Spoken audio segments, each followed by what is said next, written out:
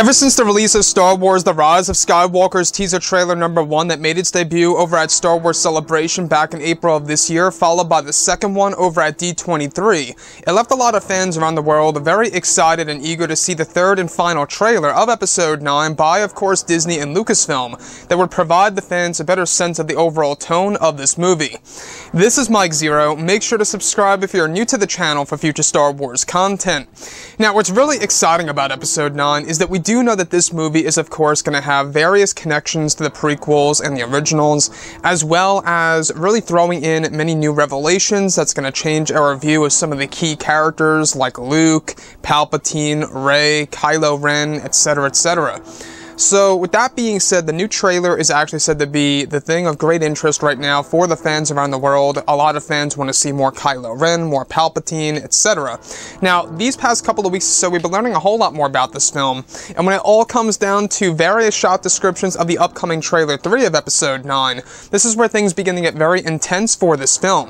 Now, specifically, shot descriptions consisting of a sequence where it's explained that Kylo Ren and his Knights of Ren are said to be fighting against Rey, where the Knights Knights are said to be based inside of Palpatine's throne room, where they are said to be using special weapons that go up against Rey's lightsaber in the shot. It's explained that Palpatine's throne room appears to be built inside of a cave of some kind, while Rey is fighting the Knights of Ren as Kylo Ren observes in the background with his ignited crossguard saber. Now, it's said that the scene is very dark and fast-paced, and includes prequel trilogy choreography and fighting styles, where as this happens, it's said that a new theme for Rey is said to play over the shot by John Williams. The next describes a sequence in which it's said that Palpatine is said to be laying on a medical table, where it's described that these mechanical tubes can be seen going into Palpatine's arms and legs as well as his abdominal area, where Kylo Ren is said to enter the room with his ignited crossguard saber, where Kylo is said to hover over the weakened state of Palpatine that is said to be on life support. This is where it comes in on Palpatine's face, where he begins to laugh at Kylo Ren with the famous laughter by Ian McDiarmid followed by a line of dialogue stating, Your journey to the dark side nears its end, where it's said to transition to a moment where Rey is actually said to be in front of, of course, a large Jedi statue, where her eyes are said to be closed, where she's actually holding a Jedi holocron that eventually levitates in front of her, where she is said to disassemble it into multiple parts, where the voices of Anakin, Kenobi, and Luke, as well as Yoda, can be heard in the distance. It's said that in the background, large kyber crystals can be seen behind Rey, where lastly, it's explained that Kylo is said to be in the cockpit of the Millennium Falcon, where he appears to be dodging X-Wings and TIE fighters in the middle of a massive space battle. So let's go over a couple of parts about this upcoming trailer. Now, the thing about Disney and Lucasfilm is that they really want to provide key shots, right? And also, you know, uses of misdirection, right? A great example here of misdirection that will be used in The Rise of Skywalker is Kylo Ren using the Millennium Falcon in the cockpit, actually flying his father's ship.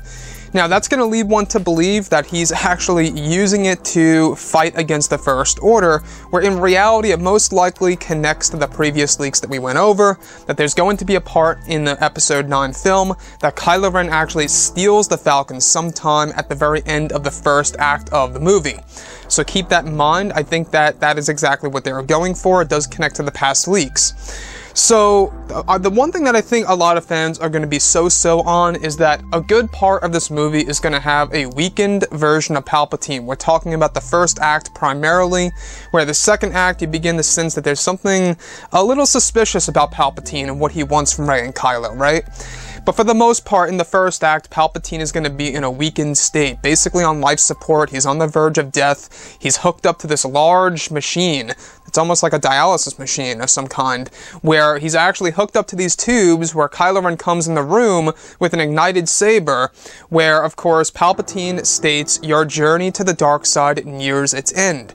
So that line of dialogue seems to be a complete version of what we got in the D23 teaser, where it just says, Your journey, pause, nears its end. So, like I say, we do know that Palpatine is essentially going to recruit Kylo Ren to find the girl Rey, and it, it does also match directly with the other leaks that Palpatine unveils to Kylo Ren that Rey is indeed his granddaughter.